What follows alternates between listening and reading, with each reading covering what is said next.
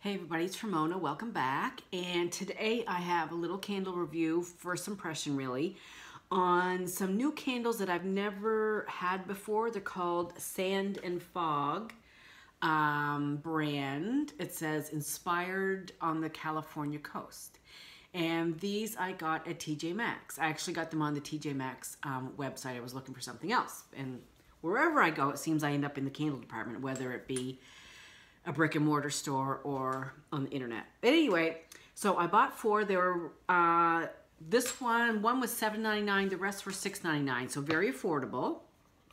I haven't burned any of them yet, so this is just gonna be like a first impression cold sniff. Um, and then as I do the reviews, I'll give you more information and, you know, scent notes and all that. Okay, so the first one is Tropical Citrus. It's in like a frosty plum colored glass, very pretty.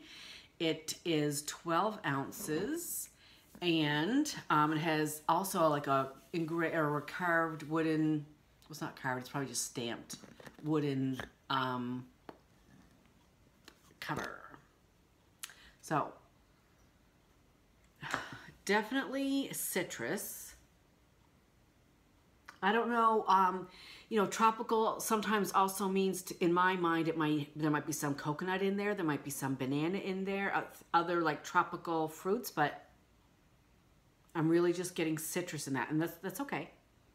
And if it if it has a strong throw of citrus, that will be totally fine with me. The next one is white cranberry, and that one has a lid. The other three have uh, just little cardboard dust covers. It's in a very pretty um, diamond shaped glass. It's kind of like a gray color, I guess. Um, and this, this is white cranberry.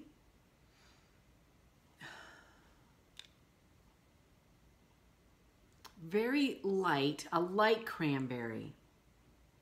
I mean, especially compared to, you know, I've been smelling all the Harry Slatkin candles, which are really strong. Even on cold, they're really strong. It is cranberry, but it's a light cranberry. So hopefully when I burn it, it'll be a little bit stronger, but it is, it is a pleasant scent. The next one is lavender vanilla. Uh, and this one is kind of like a tealy, bluey green color. Mmm, that's nice. It is lavender vanilla, very similar to Bath & Body Works lavender vanilla. Nice. Yep, that's nice. Uh, so that's a keeper. And then the final one, whoopsie daisy, is chai. Uh, this is kind of like in a apricot brownie, kind of like an apricot color, I guess. Mmm, definitely chai. Definitely getting the spices from the chai.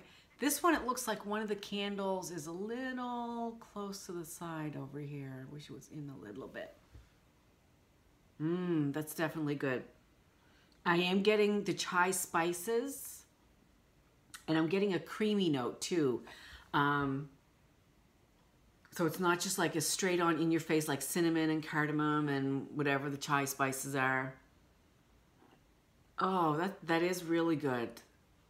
That's pretty good. Okay, so um, that's it. Very short and sweet. Uh, like I said, the, the brand is Sand and Fog. If anybody has any experience with Sand and Fog, just leave me a note down below. I'd like to see hear what you guys think about it.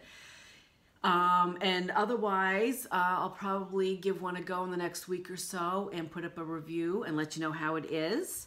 Um, that's it for me. It's Friday night, so everybody have a good weekend. I'll see you soon. Bye.